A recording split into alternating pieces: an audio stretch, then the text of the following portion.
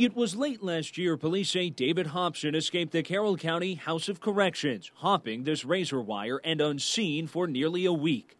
The six day manhunt terrifying. Authorities believe Hobson had been seeking revenge on two people until he was arrested in nearby Maine.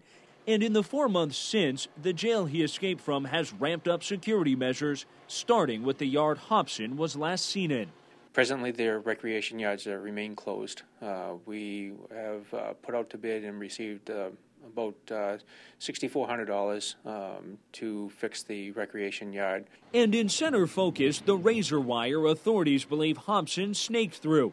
At his arraignment in December, he had no visible signs of injuries, though police and his attorney say he was caught up in the escape. We're told more razor wire will be put in before inmates are allowed back in the recreation area, and more corrections officers will staff the jail. The delegation has just approved hiring two more staff, uh, plus a nurse. One officer scheduled to start next week. And for the first time, we're hearing from the jail superintendent, who says his team of officers acted appropriately in the immediate aftermath of Hobson's escape. The staff have done very well with it.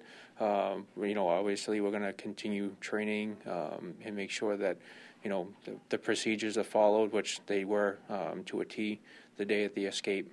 In Ossipee, Adam Harding, WMUR News 9. Ann Hobson is no longer jailed in Ossipee and studies at the state prison in Concord, facing several serious charges. The superintendent at the Carroll County House of Corrections, meantime, assures the public they're in no risk of any danger.